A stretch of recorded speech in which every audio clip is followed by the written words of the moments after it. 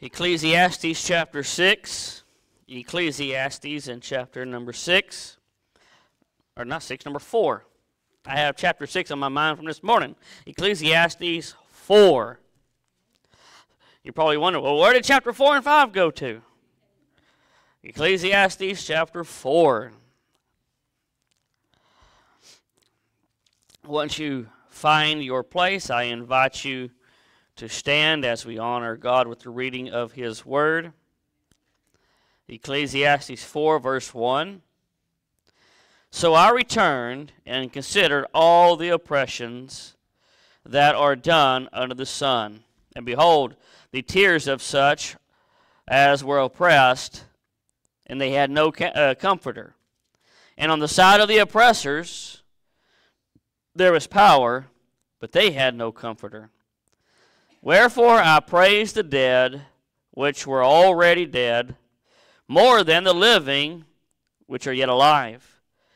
Yea, better is he than both they which hath not yet been, who hath not seen the evil work that is done under the sun.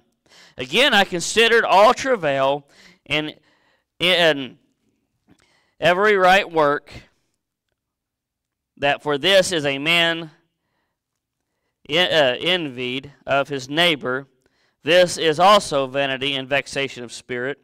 The fool foldeth his hands together and, eat, and eateth his own flesh. Better is an handful of with quietness than both the, the hands full with travail and vexation of spirit. Then I returned and saw vanity under the sun.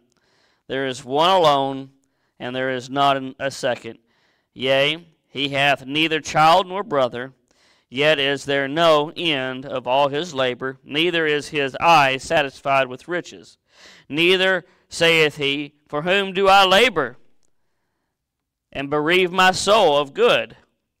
This is also vanity. Yea, it is a sore travail. Let's pray. Father, as we are to the teaching and preaching part of the service, Father, once again I ask that you'd empty me of myself Father, that you would cleanse me of my sin, that you would fill me with thine Holy Spirit, that I may preach. Thus saith the word of the Lord. Father, as we discuss these scriptures this evening, Lord, I ask that you would help us tonight, that we have done our due diligence to help us to, uh, uh to be focused and to be engaged in the message. Lord, I ask that you would bless the message tonight, or that you would meet with us. Father, I ask that you would have your will and your way in the service tonight. For it's in Christ's name I pray. Amen. Thank you. you may be seated. May God bless the reading of His word. Comfort and friendship. Comfort and friendship. Everyone needs a friend. Right? At least one. There are some that have multiple friends, multiple friendships. But in saying that, we all need one friend that we can just go to and lay everything out, right? We all need that one friend. And Solomon is talking about that here in chapter 4. And uh, he uses different scenarios in this chapter about friendship and having a friend or someone that that you can go to or and uh, the first thing we're going to see in verses 1 through, th- 1 through 3 is uh, about being oppressed. Uh, listen, there's always going to be oppressors. And I, and I even have in my notes, as advanced as we get in our own society and in the world, there's always going to be oppressors. Because he says in verse number 1 that there are those that oppress, and then there you have the poor. And the, he says that the poor that are being oppressed, they don't have a comforter. There's no. They, he's talking about uh, those that can comfort them in this oppression. He goes, the oppressors they have power, but even though they have power, they don't have comforter. And so he goes, therefore, because uh, you're going to get hurt in your life. If you're alive, you're going to be hurt. So Solomon's saying, he goes, Wherefore I praise the dead. Listen, if you're if you're alive, you're going to be hurt. We've all been hurt, haven't we, by someone? And if we're honest with ourselves, we remember the day, the time, everything in that conversation, don't we? Sometimes, because a lot of times we hold on to that and we have this shame on if I, if you hurt me shame on you but if you hurt me again shame on me right? We use that. You fool me once fool, you know shame on you fool me twice shame on me. And we hold on to that. And solomon here he, he's like it's better to be dead than alive because of being hurt. Wherefore I praise the dead which are already dead more than the living which are yet alive. Yea, better is he than both they which hath not yet been, who hath not seen the evil work that is done under the sun. He goes, I, I praise the, the dead more than the living because they, they're not going to have to put up with the evil and the oppression and things that are coming. He goes, I, he goes, even those who have not yet come they're going to feel it, they're going to see it. And the dead, they don't have to worry about injustice or oppression anymore. That's what Solomon is saying. And he, he's looking on the outside in and of, of these folks. It's like he's walking around in every one of these scenarios, he's just looking.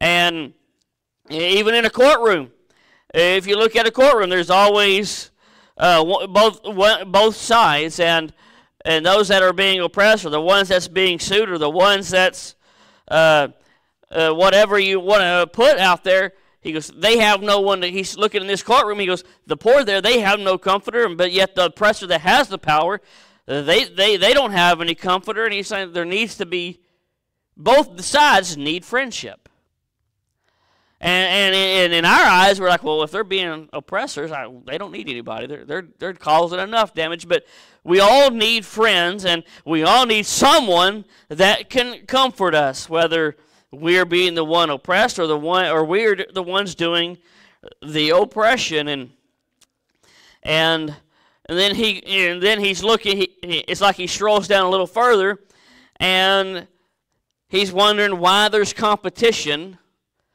amongst the people. Look at verse number 4. Yea, better is he than both they which hath not yet been, or verse 4. Again, I considered all travail and in and every right work, for this is for this a man is envied of his neighbor. This is also vanity and vexation. The fool foldeth his hands together and eateth uh, his own flesh. Better is he, or better is an handful with quietness than both of his hands, uh, both of the hands full with travail and vexation of spirit. Uh, and so, talking about competition in verse number four, it seems it seems like he's saying everybody is in competition with each other, and they're trying to keep up with the uh, the the Joneses. That was a that was a thing back in the '90s, wasn't it? keeping up with the Joneses. So, so you, we used to say when people were uh, getting the, something new or upgrading their house or whatever it was, there's always competition and keeping up with the Joneses. And Solomon sees seems to think that the reason folks are always working is to impress someone, whether it's his neighbor or his coworker. He's kind of looking at the job site here uh, uh, and looking at what's going on in these people. You have this sect of people who are always working uh, for uh, whether to impress their neighbor or to impress someone else. And if and those of us, we may have that same thought. Well, man, I hope somebody sees my new what else? Because we want we want to we want someone to feel impressed of what we bought or what we've done. I mean, come on, men.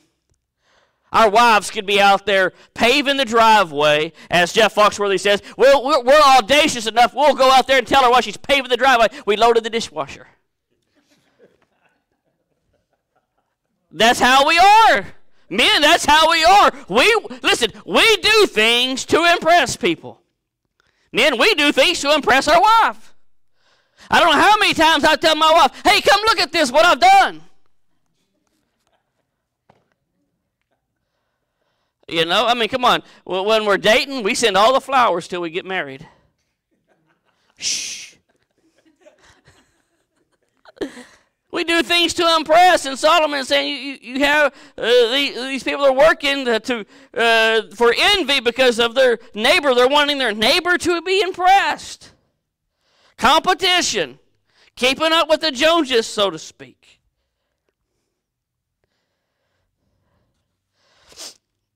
And, and look at what he says in the next verse. Verse 5, the, uh, in verse 5, the fool folded his hands together and he ate his own flesh. He goes, You have some that work so hard day and night just so that they can buy new things, have a bigger house, have the greatest and latest and greatest. And you have the totally opposite those who just quit working. What was it, the 50s when the flower child syndrome came? Some of you that are older, remember those days? I wasn't even. Uh, thought of. My parents were barely alive then. And what was the thing? Just to stop working and go sit in the grass, grow long hair, and sing kumbaya? He goes, You have the fool that just totally quits working altogether and does this. He says he eats his own flesh because he has nothing to eat.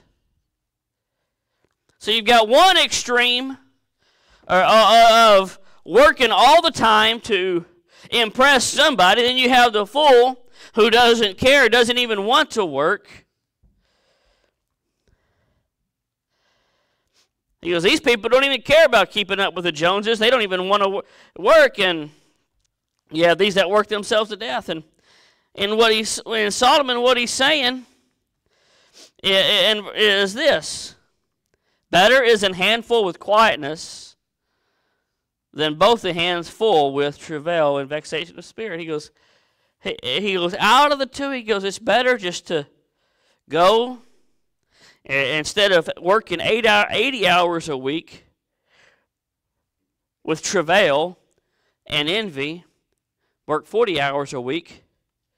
Go home, go to the store, buy some Blue Bell, and eat it. How many cartons y'all got in the freezer today? Seven.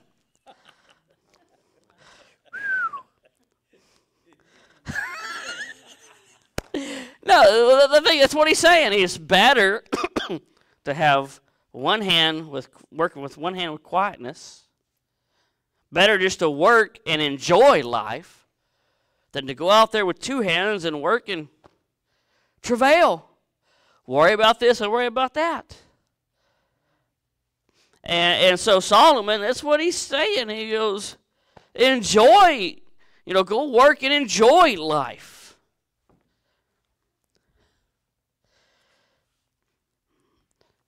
We should not work solely for accolades or to keep up with the Joneses, but to enjoy life with what God gives us. Number three, don't be a Scrooge.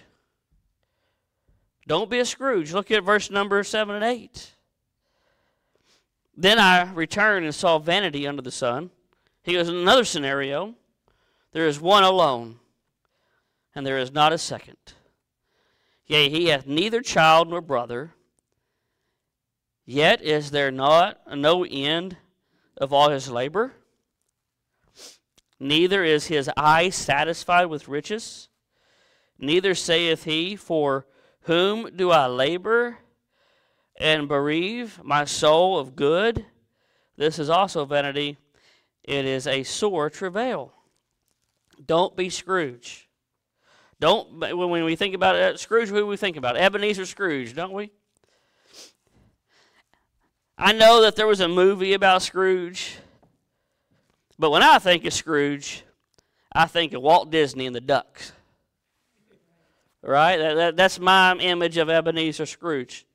Always in a bad mood. Always, all he wants to do is work and count his money. Right? That, that's the Scrooge that we, in the Christmas season, that we, we talk about. And don't, don't be a Scrooge. Don't be what Solomon here is talking about. There are those that are alone to work and not satisfied. You, everyone, we all have those. We all have certain employees that they're They're all about the money. We have these. I have these vendors at work. They all, whether it's a bread vendor or whatever vendors, they you know they buy their routes, and they're always talking. And what they they always talk about the same thing. I'm about that hustle. I'm about the hustle. Got to I got to make that bread. You know, they don't hardly ever get vacations because they don't want to give their route over for uh, uh, for a few days to some. They don't want to hire somebody to give the route out for a few days. And I asked one guy, I'm like, "You're always here. Do you ever take a day off?" He goes, "No, because they these people want money." Well, there's more to life than money. And Solomon here saying, "There's this person." He goes, "There's these that are alone. They don't have a friend. They don't even have a brother or a sibling to share their life with." And we call these folks Scrooges.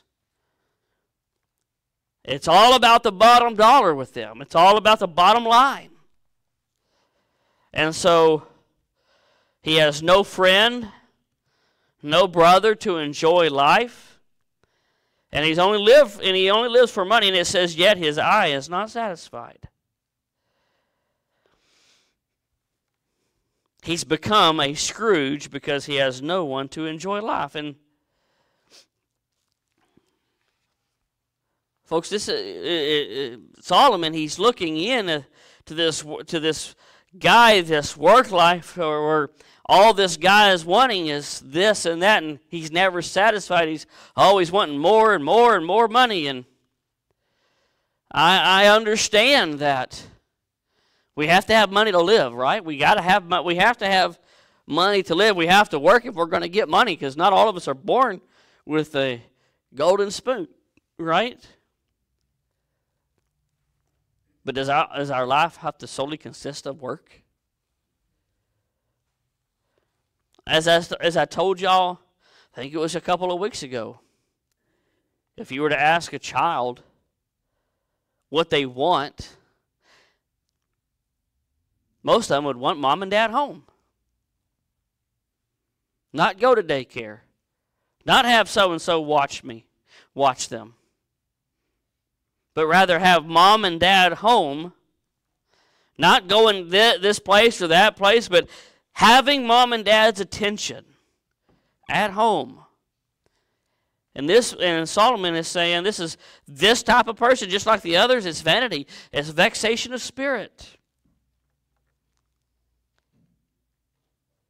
So we need, listen, we need to be friendly. Be friendly. Look at verse number 9.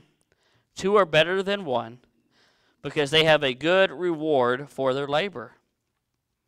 It is better to go through life with a friend than alone. God never intended us to live this, this Christian life, this discipleship life with our Savior alone. If He did, we would never, He would never have created the church. We're not meant to go through this life alone, but listen, we need to be friendly. Friends can help lift you up. Look what he says. For if they fall, the one will lift up his fellow. We need friends to help lift us up, don't we?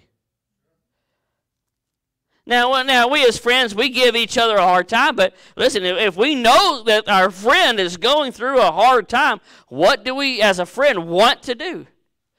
Pick them up to help them the best we can. And so we need to be friendly because two is better than one. But woe to him that is alone when he falleth, for he hath not another to help him up.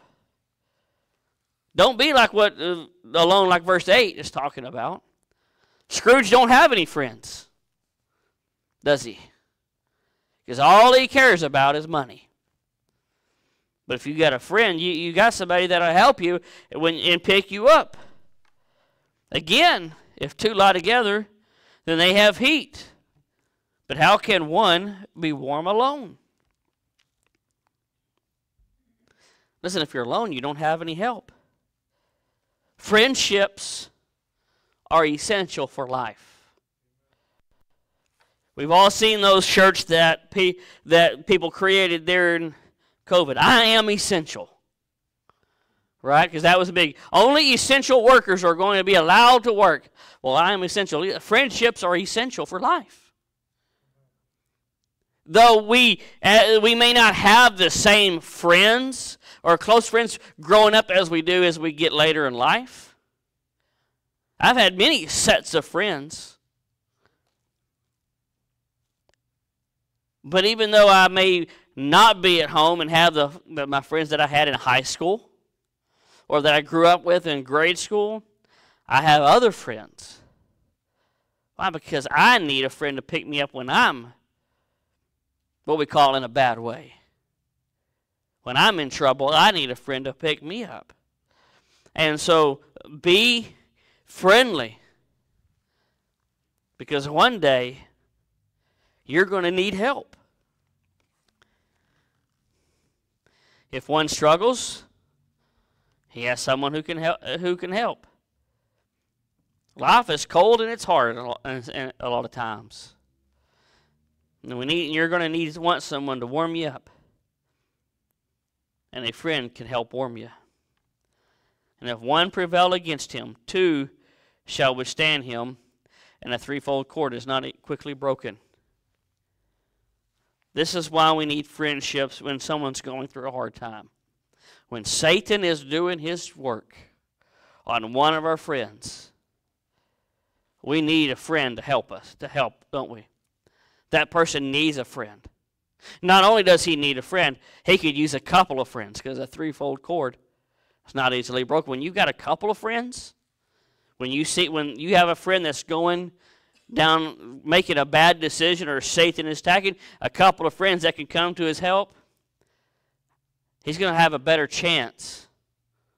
What I say chance, he's going to have a better chance at coming through this than if he were alone. Folks, when, when, when we get into sin, a lot of times we push people out. Because all we want is what's in front of us. Whatever the temporary pleasure it is. Don't let them people don't let those folks push you out. Stay in contact because you might be the one that helps them bring them out of whatever when I say funk they're in. Be friendly. Don't stop being friendly. We need friends. Friendship is essential in life because friends can comfort.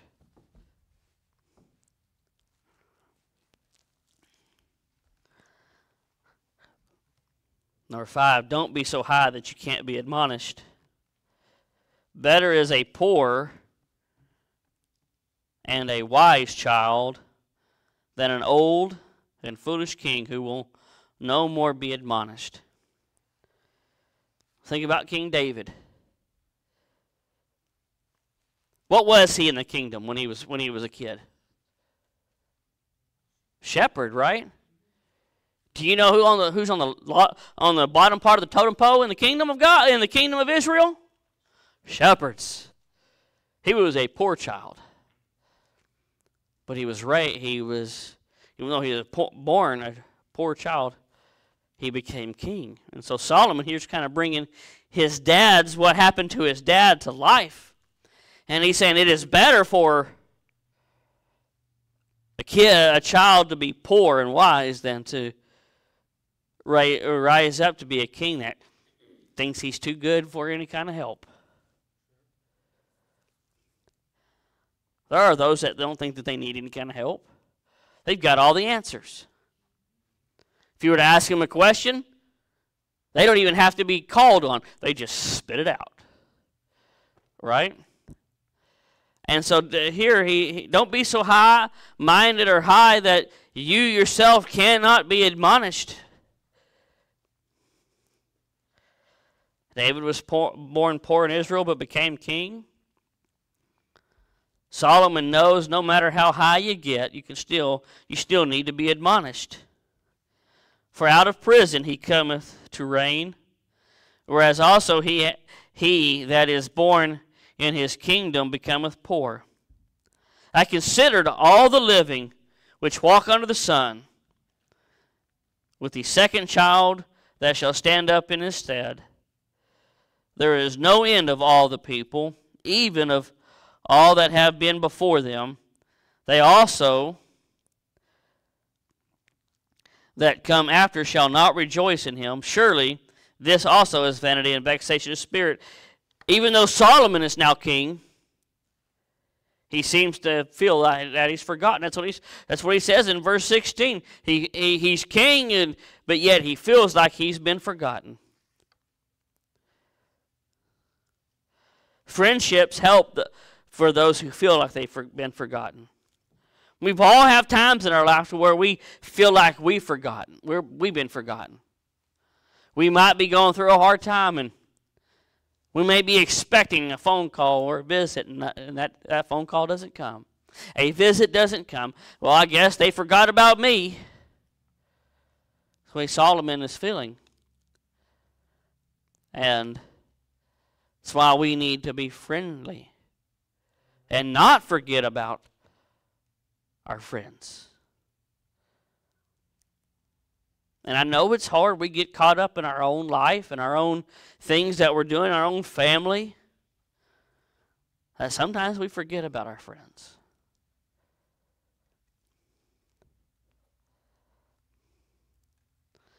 Comfort and friendship. We all need comfort at, at times, and we all need friendship. So, as he says in verse number 8, it's kind of the, the key verse in this chapter. There is one that is alone, and there is not a second. Do you have friends today that you can turn to? Well, let me ask you. You might say, well, yeah. Well, let me ask you this Are you someone that your friend can turn to? We all have friends that we can turn to. Is there someone that can turn to you when they are needing comfort, when they are needing friendship?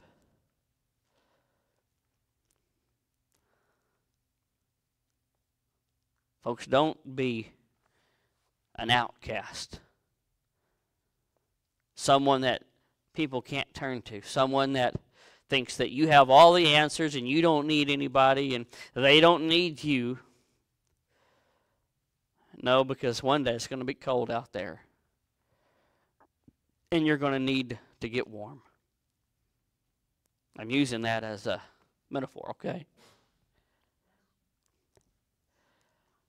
Be friendly so you can give comfort and you can re- receive comfort from a friend.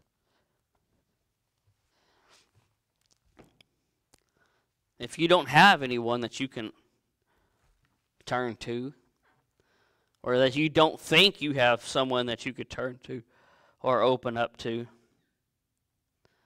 Maybe it's because you yourself have not shown yourself to be friendly.